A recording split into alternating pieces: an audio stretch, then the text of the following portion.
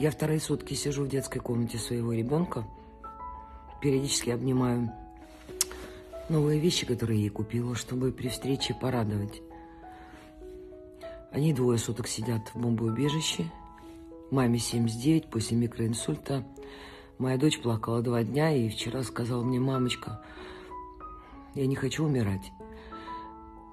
Я не имею права плакать, когда разговариваю со своими, потому что даже и говорить ничего не имею права, потому что многие сейчас занимаются поисками врагов.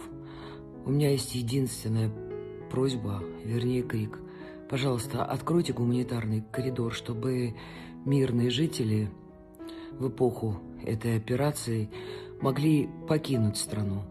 Пожалуйста. Ведь есть же Красный Крест, есть куча организаций, Прервитесь на какое-то время. Ну, пусть выйдут старики, дети, женщины, все, кто не хочет э, участвовать в этом. Пожалуйста, сделайте что-нибудь, это в ваших силах.